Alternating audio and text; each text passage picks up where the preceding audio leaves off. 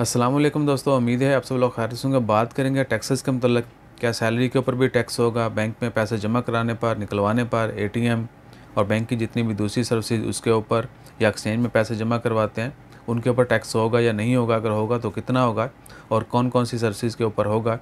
इन ताला खैर, आज 14 अप्रैल 2021 और ओमान में पहला रोज़ा भी है, और टैक्सेस जो हैं, वैट वो 16 अप्रैल को इम्प्लीमेंट हो जाएँगे हफ़्ते के दिन।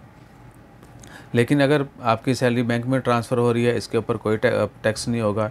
आप पैसे जाके भी डिपॉजिट करते हैं तो भी कोई टैक्स नहीं होगा। पैसे विड्रॉ करते हैं। लेट्स सपोज़ आपका बैंक मस्कत का कार्ड है, बैंक मस्कत का अकाउंट है। बैंक मस्कत से ही अगर आप पैसे विड्रॉ करेंगे एटीएम से या बाई चेक तो उसके ऊपर टैक्स नहीं होगा।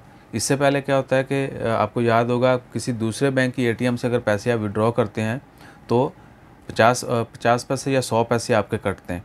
अगर वही अभी आप करेंगे तो उसी सौ पैसे के ऊपर किसी दूसरे बैंक के एटीएम यूज़ करने पर जो सौ पैसा कटता है, उस सौ पैसे के ऊपर आपको मज़ीद पाँच परसेंट जो है वो ऐड करके जो है पैसे वो उतने आपके कटेंगे। सो एक सौ के बजाय फिर एक सौ पाँच पैसे कटा करेंगे। इसके अलावा बैंक की जो सर्विसेज़ हैं, जैसा कि बैंक का एटीएम कार्ड है अगर आप वो बनवाते हैं, उसके ऊपर आपको पहले अगर दो रियाल फ़ीस है उसकी बैंक मस्कत की तो अब जो है आपको उसको दो रियाल ऊपर दस पैसा जो है वो ज़्यादा देने पड़ेंगे। तो इसी तरह पर, यानी कह सकते हैं कि जितनी भी सर्विसेज़ हैं, उनके ऊपर जो है आपको पैसे देने होंगे, ना कि जो आप पैसे विड्रॉ कर रहे हैं या कोई भी दूसरी सर्विस बैंक की है, उसके ऊपर नहीं होगी। जहाँ पे बैंक जो है ट्रेड कर रहा है, उसके ऊपर आपको जो है पैसे देना पड़ेंगे।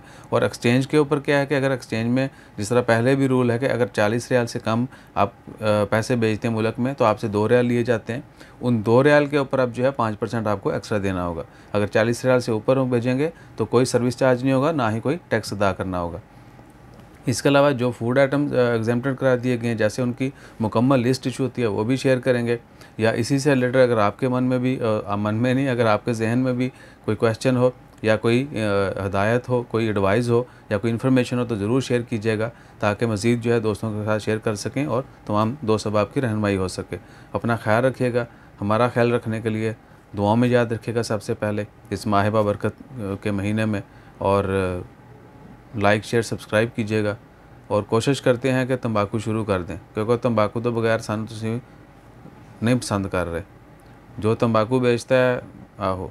तो खैर, इन तमाम मामला के मतलब भी जो है ना पर्सनल यानी इस तरह की बातें चटपटी, वो भी करेंगे किसी दिन लाइव में। अपना ख्याल रखिए दुआ में याद रखिए। जजाकल्ला अल्लाह हाफिज़।